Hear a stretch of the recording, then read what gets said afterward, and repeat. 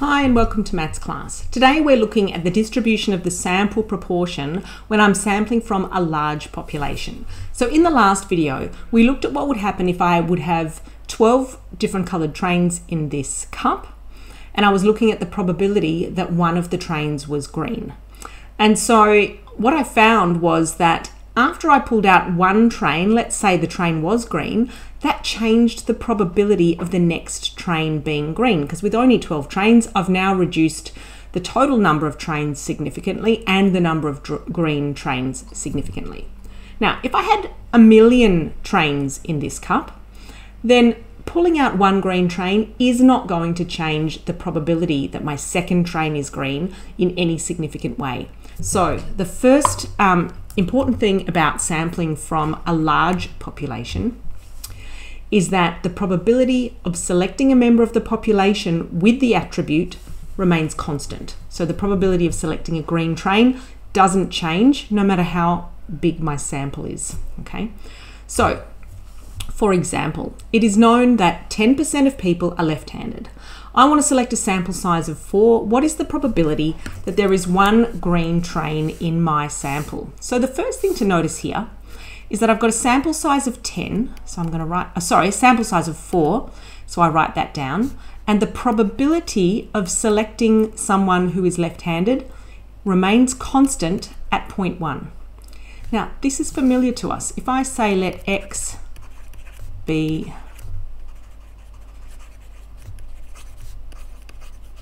number of left-handed people in my sample, then x is binomial. And I've got, I've written already that n is 4 and p is 0.1. So that means I can now calculate the probability that x equals 1. And I can either use my CAS or I can use the formula. Um, well, I'm going to use my CAS anyway, but let's just remind ourselves what the formula is.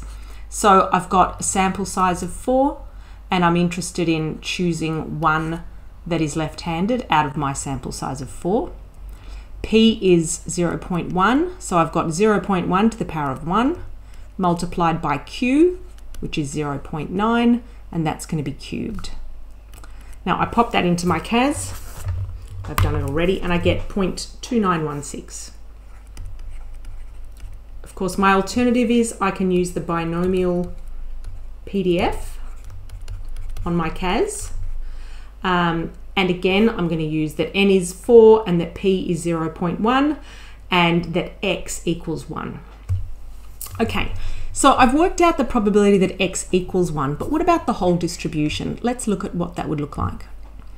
So if I've got a num the number of left-handed people in my sample, my sample size is 4, I can either have none or one or two or three or four. So this is quite similar in this way to the train example. And therefore the proportion of left-handed people in my sample is going to be divided by four each time. So zero, a quarter, a half, three quarters, and one. So what are the probabilities? I just already worked out 0.2916 for um, the probability of having uh, one left-handed person in my sample. If I use the same probabilities, then I can fill in all these values. So for example, um, if I want to if I want to work out the probability that x equals 2, then I'm just going to go into my binomial uh, PDF on my CAS calculator. So let's have a look at that. Uh,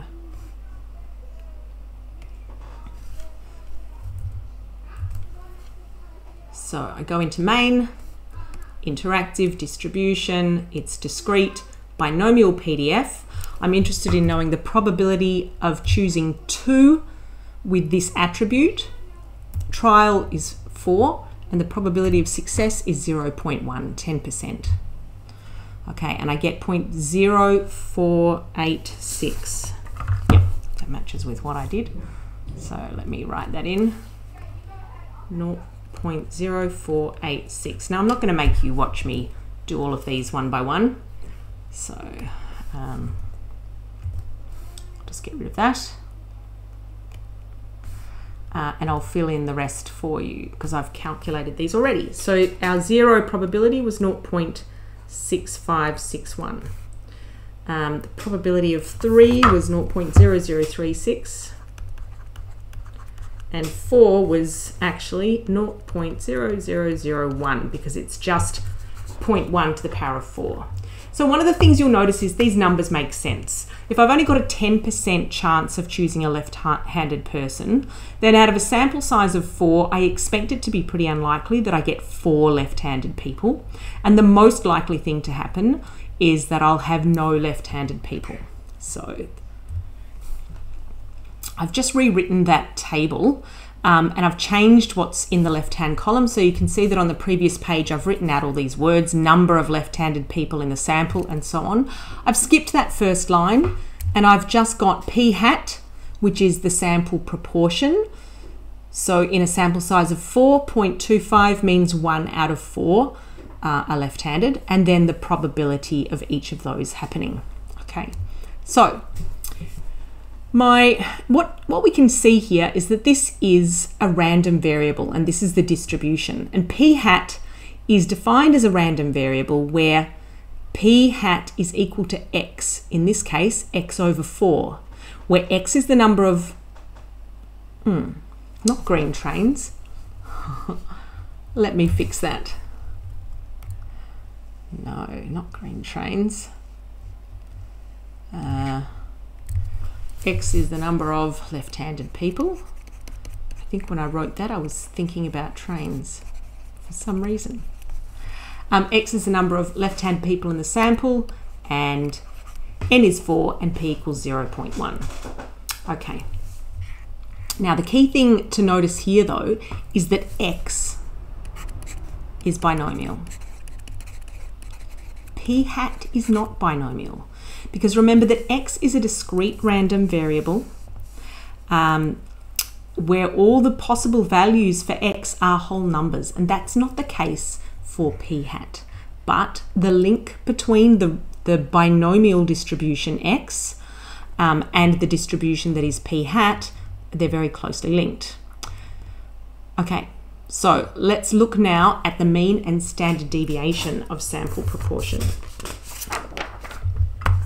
so first of all, we need to remember something. For a binomial distribution, we're talking again about x now, I know that e of x is n times p, the variance of x is np times 1 minus p, and our standard deviation is the square root of the variance. So that's the square root of np times 1 minus p, which we sometimes write as the square root of npq. It's the same thing because q equals 1 minus p. So um, what I need to remember now is that p hat in general is going to be defined as x over n, where n is the sample size. So in my previous example, the sample size was 4, um, but of course it's not always going to be the case.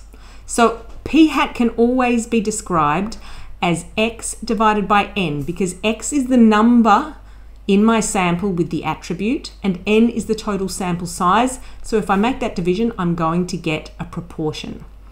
So what's E of P hat? Well, that's going to be E of, sorry, it's going to be E of X over N, which is going to give me NP over n, which is just plain old p. So E of p hat is just p. Now that makes sense. Um, remember though that in this case, p is the population proportion. But it amounts to the same thing. If I know that 10% of my population are left-handed, 0.1 of the population are left-handed. It therefore follows that if I randomly choose one person, there is a 0.1 probability that they will be left-handed.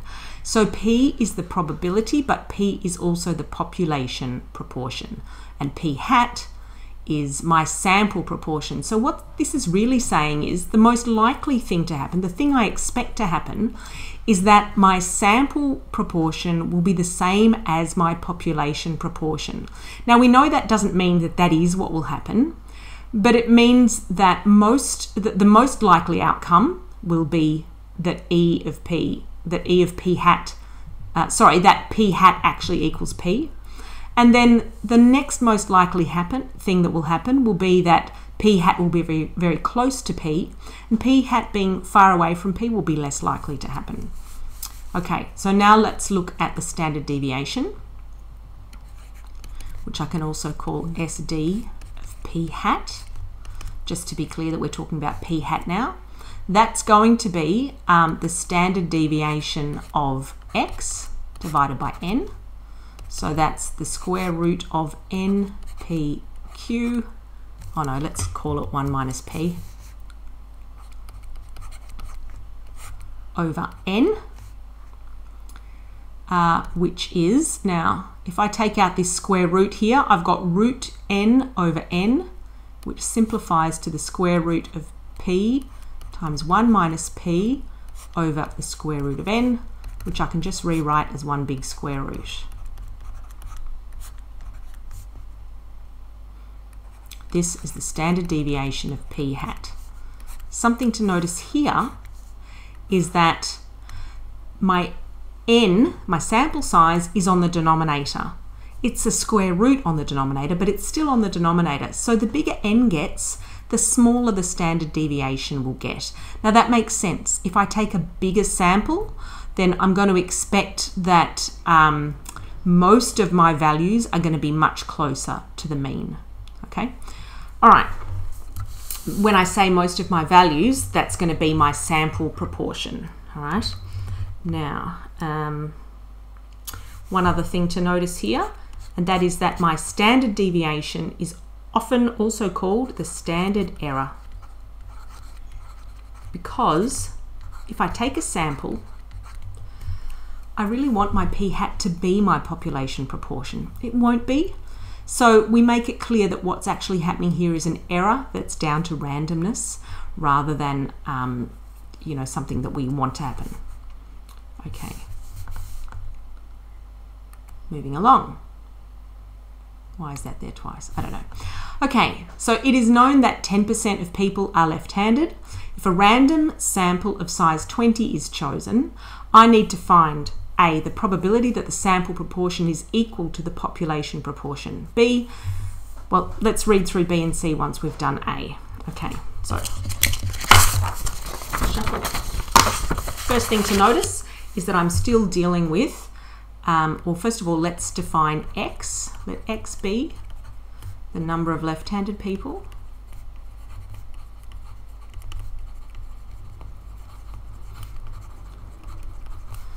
Um, in sample of 20 and p hat equals x over 20. I need to be nice and clear when I'm defining things. Um, I always start with that. And it's also worth noticing that we're really dealing with two slightly different distributions here. There's x, which is a binomial distribution, and there's p hat. Um, so when I'm doing A, oh, and the other thing I'm going to notice then for both of these that N is going to be 20 and P is going to be 0.1 and X is binomial. That's all important working to write down. So the probability that the sample proportion, um, that's P hat, is going to equal the population proportion, that's P.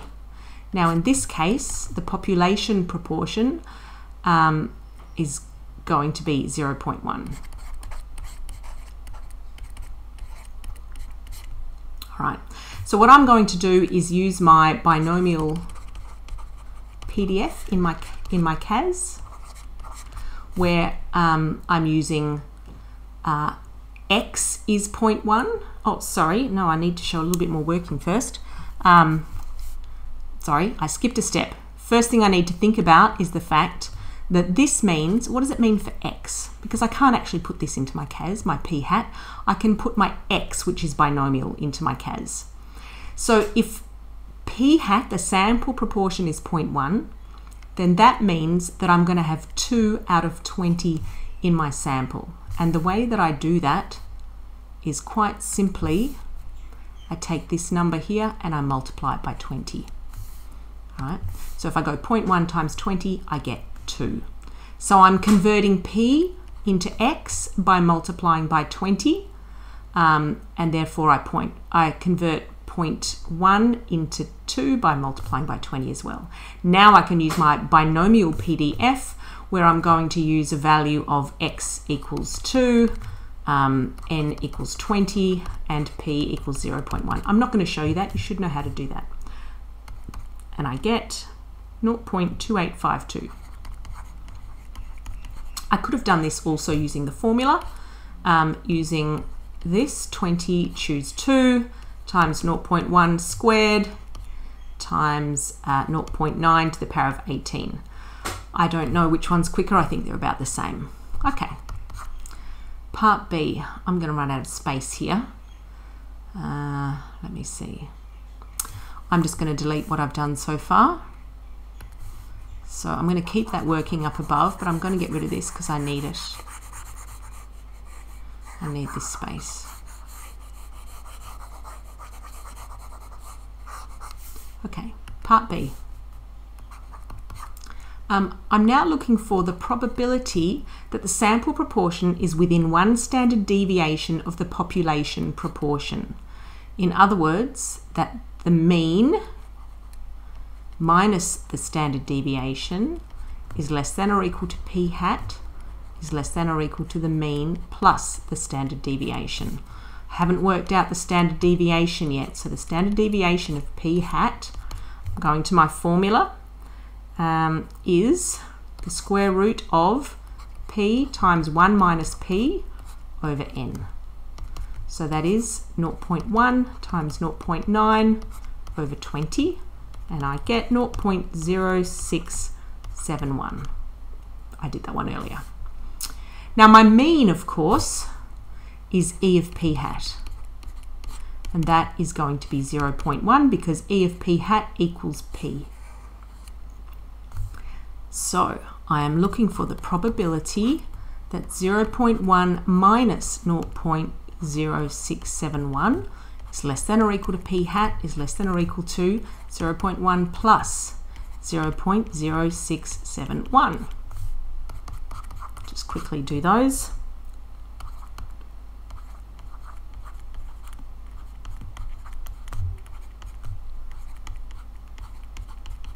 Okay.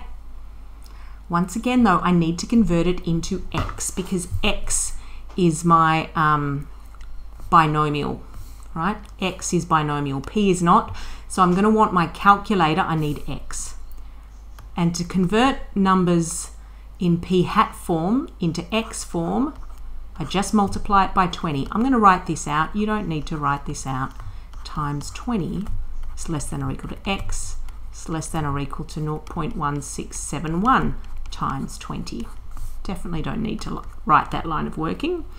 And we get 0.6583 is less than or equal to x is less than or equal to 3.342. Now, binomial is a discrete probability distribution. It likes whole numbers. So now I need to think about I want it, I want these to stay less than or equal to because when I'm putting my boundaries into my calculator, it includes the endpoints. If I say, um, if I put my bound, lower boundary as 4 and my upper boundary is 8, that means 4 less than or equal to x less than or equal to 8. So I need to include my boundaries. So the next whole number that's going to um, be bigger than 0.6583 is 1. And the next whole number that's going to be smaller than 3.342 is 3. See, if I rounded this down to 0 and I rounded the 3.3 up to 4, I, I would be now looking at less than rather than less than or equal to signs. And I want less than or equal to. Now it's in a format I can put into my CAS. Lower bound is 1, upper bound is 3. I'll show you just to remind you in case you've forgotten. Um, you can't see that, hang on. All right. So I go to interactive. And now because I've got boundaries, it's still discrete because it's binomial, but it's CDF, not PDF. So binomial CDF, my lower bound is 1, my upper bound is 3, the number of trials hasn't changed, it's still 4, probability of success is still 0.1. So notice that when I go from 1 to 3, all my calculator is going to do is add up the probability that x equals 1, that x equals 2, and that x equals 3. But it's quicker if you get your CAS to do it. 0.3438. Okay, let's go back to our page. Oh dear. Hang on. 0.3438. I'm saying oh dear because I've just realized uh, you can't see all that. Let me let me move me out of the way. Here we go. Make me a bit smaller. That'll do. Okay. Um, I need to shift that out. There we go. Move me a bit more. That gives me space. Okay. So what I've done, and it's been a bit of a slow, drawn out process, is I've gone um, I've started by working out what my boundaries are when I'm looking at um, the mean minus one standard deviation and the mean plus. I've found what that is as a value. I've converted it into values for x. Then I made those into whole numbers and then I used my CAS calculator just to find the answer. I'm going to do the exact same process when I do C, the probability that the sample proportion lies within two standard deviations of the population proportion. It's the same question except this is a 2 instead of a 1. I'm going to rub this out again because I'm going to need the space.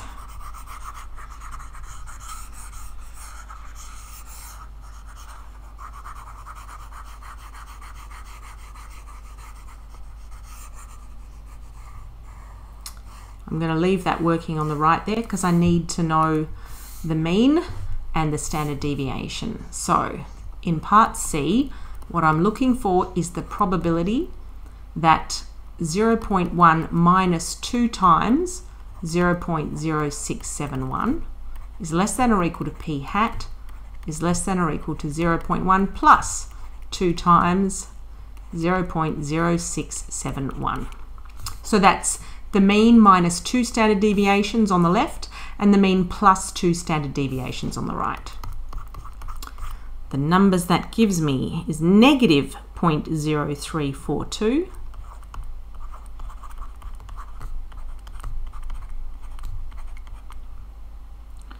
um, is less than or equal to 0.2342. Okay, let's ignore the fact for now that that negative won't work. We'll deal with it when, once we've changed it to x. Multiply everything by 20, I get negative 0.684 is less than or equal to x is less than or equal to 4.684. Now I want to make those into whole numbers. So to keep within that range, the next whole number, of course, is 0, is less than or equal to x, is less than or equal to 4. So I rounded my lower boundary up and I rounded my upper boundary down, put it into my CAS in the same way I did before, and I get 0.9568. It's worth taking a moment to notice that that's something approximately that we expect. We know that about 95% of values should be within two standard deviations of the mean. Okay, so that is the end of this video. That's everything that you need to know for now um, about the distribution of the sample proportion.